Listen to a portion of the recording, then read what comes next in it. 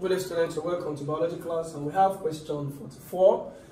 Genes that remain linked are those that dash A. Close to each other on the chromosome, B. On the same locus on the chromosome, C. On the homologous chromosome, then D. Which allelic pair? The answer here is uh, genes that are close to each other. Now, this is the simple explanation. The last uh, question we talked about the crossing. That's the crossing over of genes. That is the crossing over of um, of the homologous chromosomes. Okay. Now we are talking about the linkage of gene. Now let's look at the chromosome. You know that the chromosome, the genes are always located on the chromosome as usual. The genes are always located on the chromosome. I told you that the centromere is what separates uh, the chromatid. So this is the chromatid. We have two chromatids. This is the chromatid.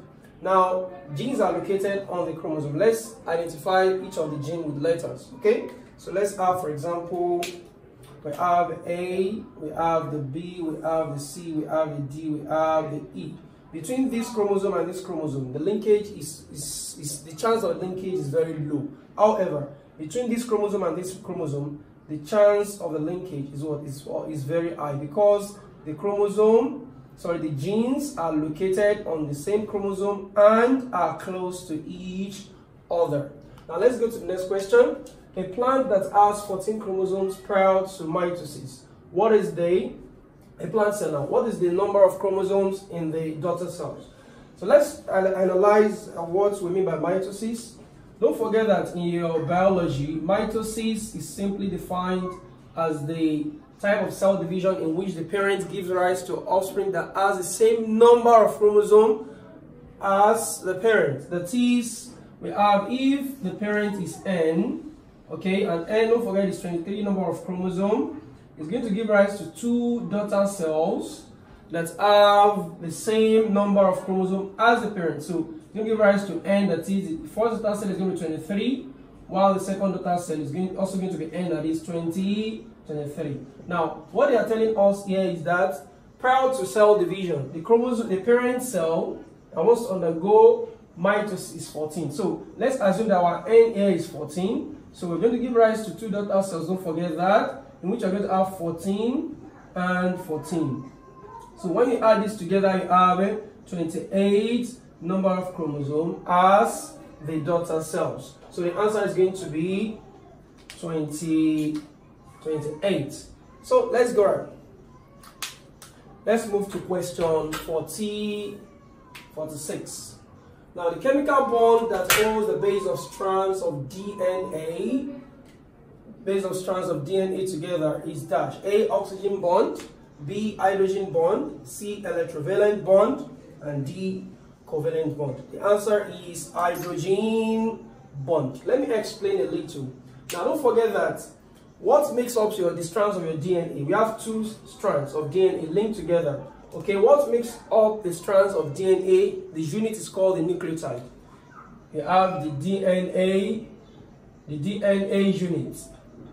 It's called to the nucleo, the nucleotide. That means we need to know that the nucleotide here, this is, let's say this is the strand of the DNA that want to be linked with another strand of the DNA. So each of the segments here is going to have what is called the nucleo nucleotide. So let me draw a nucleotide here and you see how a nucleotide is going to link with another nucleotide through that bond that is called the hydrogen hydrogen bond. So each nucleotide consists of four, sorry, three segments.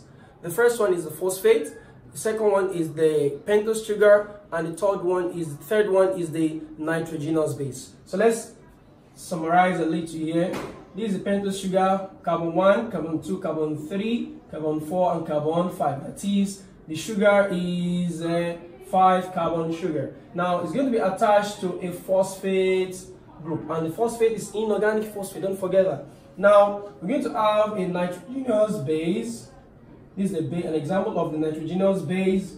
Okay, we know we have different types of nitrogenous bases, but now because we're going to focus on question and manage our time, we discuss that later in subsequent years. So now this is a, an example of a nucleotide in a segment of the DNA. So we link this particular nucleotide together with another nucleotide in another strand. This is a strand of DNA, as I've said. This is another strand of DNA, as you said. So what we just do here is that we draw another 5 here.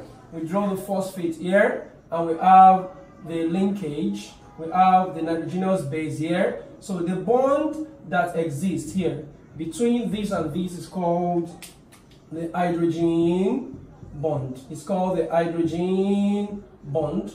How does the covalent bond apply to this part, uh, to this diagram I've drawn? The covalent bond is not the answer because we're talking about between strands. But however, where does covalent bond uh, um, come in? The bond that that brings the phosphate, the sugar, and the base together, all together here, is called the covalent bond. While the bond that links a nucleotide to another nucleotide in the strands of DNA is called the hydrogen bond. Thank you very much. We'll meet in the next class.